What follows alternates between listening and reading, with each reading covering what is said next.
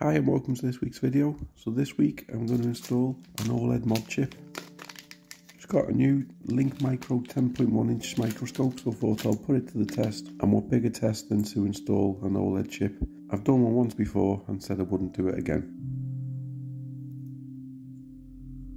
So pause the chip from AliExpress, just search RP2040 on AliExpress to find one and this is my 10 inch microscope so I'm hoping it's going to make it a lot easier than the last time I installed one of these mod chips. Unboxing video for the microscope is in the description.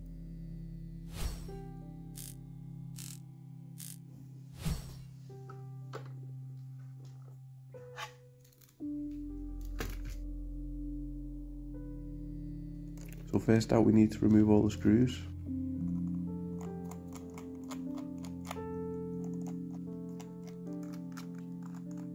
Back peels off, then we need to remove the rear heat shield.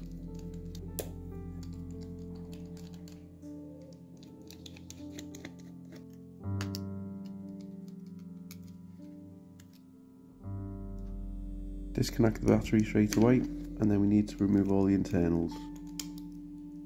Release all the ribbon cables, last few screws, and then lift the motherboard out.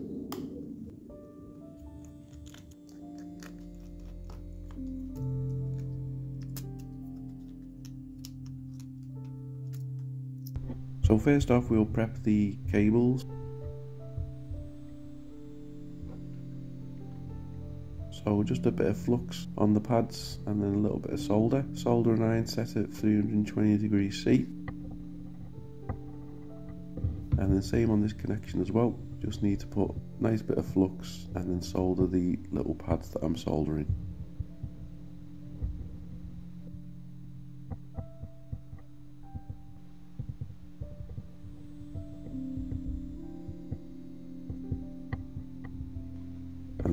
Clean alcohol.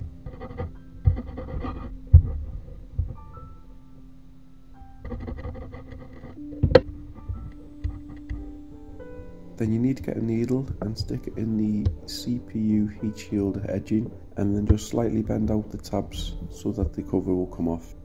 So this switch OLED I bought was on a previous repair, so it was a failed mod. I mention this now because this part of the heat shield that I'm showing had already been cut so what you need to do is carefully get some wire snips and cut this section that I've circled. There's also a trace here that I've pointed at. This bit needs scraping away very slightly because we will need to solder this. Or again, this has already been done on my switch that I've already got so I can't demonstrate doing it again.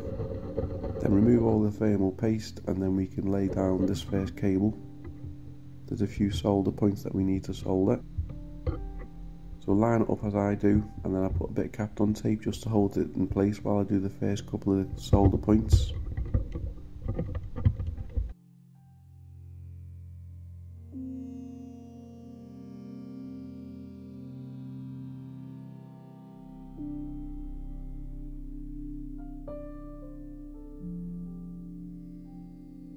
So a little bit of flux will make the solder flow better. Twist it around, get in the best position that you feel comfortable soldering.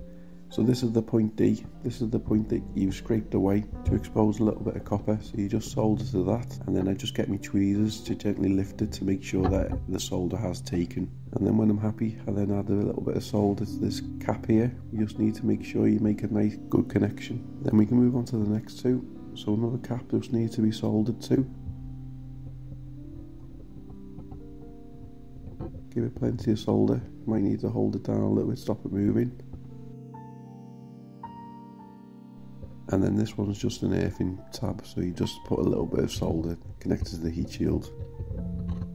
Then we add some more flux, line it up again, and then these two caps need to be soldered directly too, so join them both up. And then we spin it round and then do the same on the other side. Plenty of solder, make sure both caps are connected to the solder.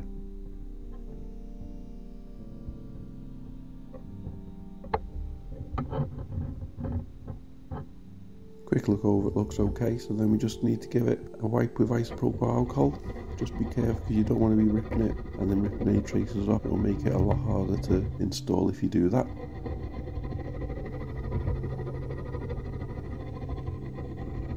And then once it's clean and dry we can give it another once over just to make sure that all the solder joints look complete and strong. So then we just need to insert this bit. So line up to make sure that it goes over the two chips that we're going to solder to.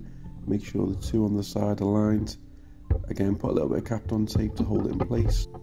Add a little bit of flux and then plenty more solder. So you want to be keeping keep it moving. You don't want to hold it on too long because you'll run the risk of taking the caps off.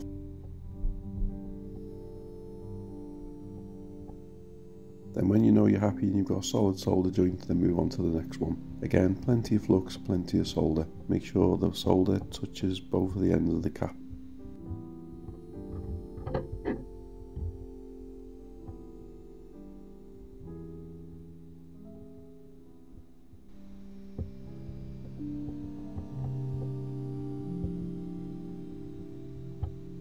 clean with isopropyl.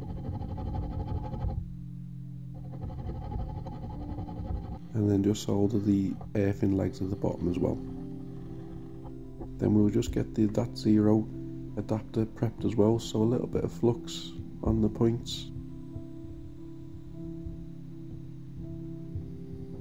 And then we'll add a little bit of solder to the edges. You don't want the soldering iron too high because you don't want to be melting any plastic.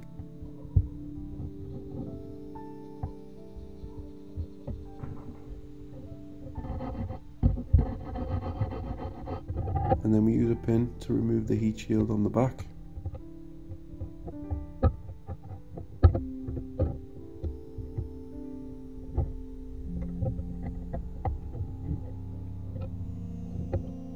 So I have read a lot of people say that you can insert them without taking this section off. I, prefer to take it off personally, but it's entirely up to you. Just be really careful when using wire snips though, because you don't want to be cutting further down and then ripping any of the traces on the board.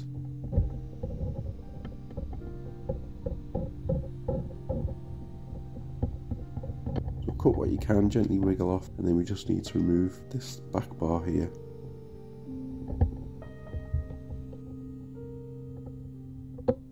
I've also found it easy if you remove this corner section as well. Then I just add a little bit of flux and a little bit of solder just to clean it up a little bit just to make sure that it's nice and smooth when we put the adapter in.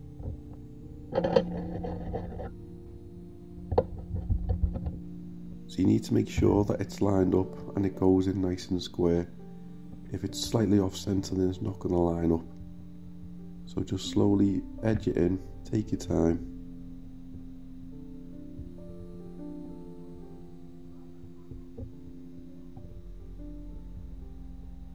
and then push it in until it doesn't go any further. I thought mine would go in a little bit more because of where the line was, but it, it was in as it should be. Then you need to get your multimeter and then put it in diode mode. Put one end on ground and the other end on the small dot on the adapter.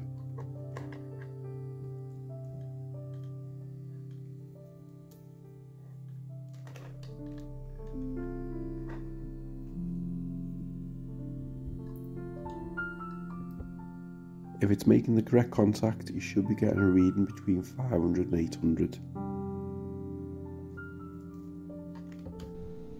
So when you're happy, just add the solder to the legs, add plenty so it makes it nice and solid so there's less chance or no chance of it moving. And then just give it another quick reading to make sure I'm still getting between the 500 and 800, which I am.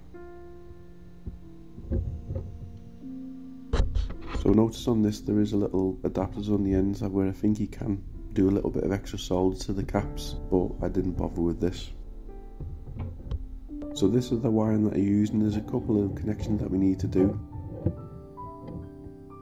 So we just solder one into the adapter itself and then we just need to position it so that it comes out of the corner and wraps around to the other side.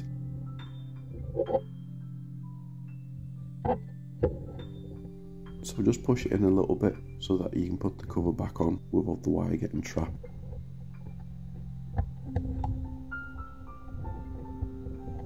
And then we flip it over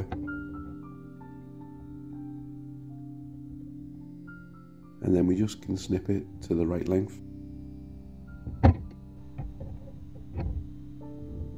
and then we just need to solder to the C points on the connector. Then the solder points that we did on the caps, you just need to add a little bit of Kapton tape. This will stop any potential shorts when we reapply the heat shield in a bit. So the top edge of the heat shield, I just slightly bend up all the tabs at the, at the end because there's a few ribbon cables that are coming out, you don't want them trapping. So just lift them all ones up and then reattach the heat shields, making sure that you've put some new thermal paste on as well. Clip them all around to make sure they're all back in place.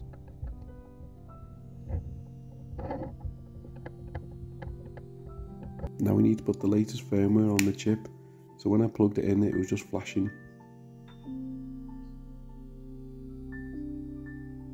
So what you need to do is hold the boot button, then plug it in, and then it'll be recognised by the PC. Then it'll show up as an external device, so I normally delete whatever's in there already, and then all you need to do is copy your firmware file to the chip itself. This takes literally a couple of seconds to copy across.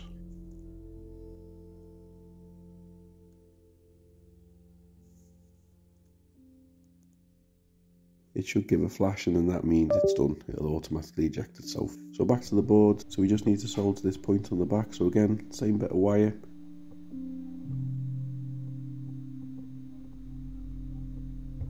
clean.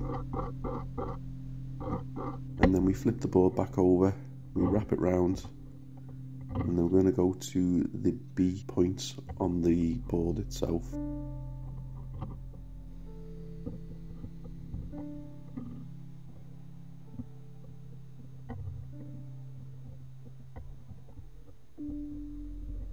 Another quick clean and then I'm going to stick a little bit of double-sided tape on the back of the chip itself just to hold it in place so it doesn't move.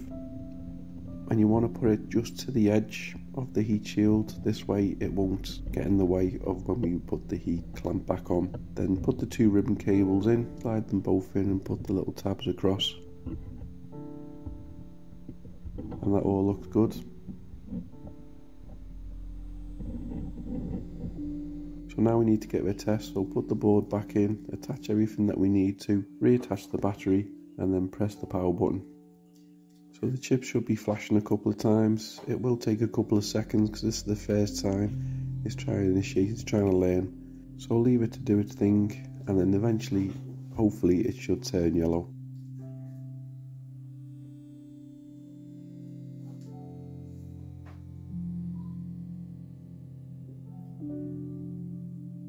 and then when you flip it across it says no SD card which, which means it's a success and we're working.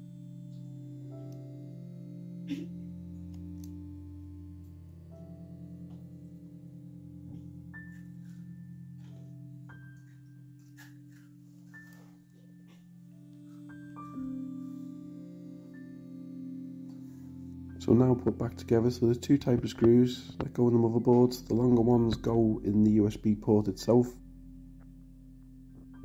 and then we put this heat clamp back on. Again keep remembering to add some new thermal paste.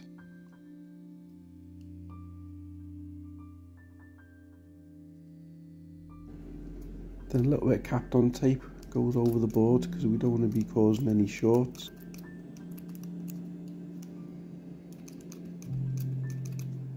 And then the last couple of screws need to go in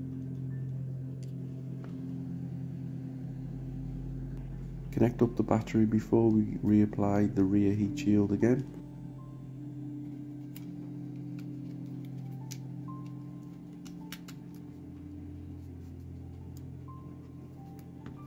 Make sure you reconnect the two connectors there.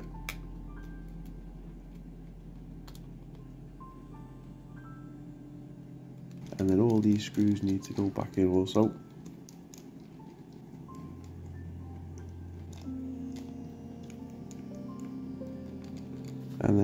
Quick wipe to get rid of all the fingerprints. Then the back cover goes back on. I find hooking the bottom edge in first works best.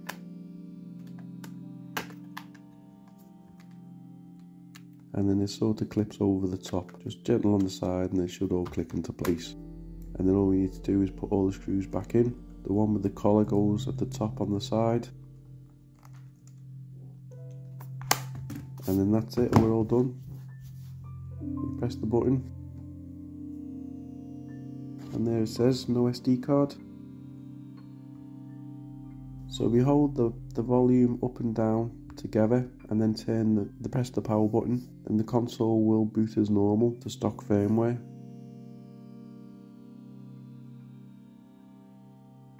Just to show that it is still working fine.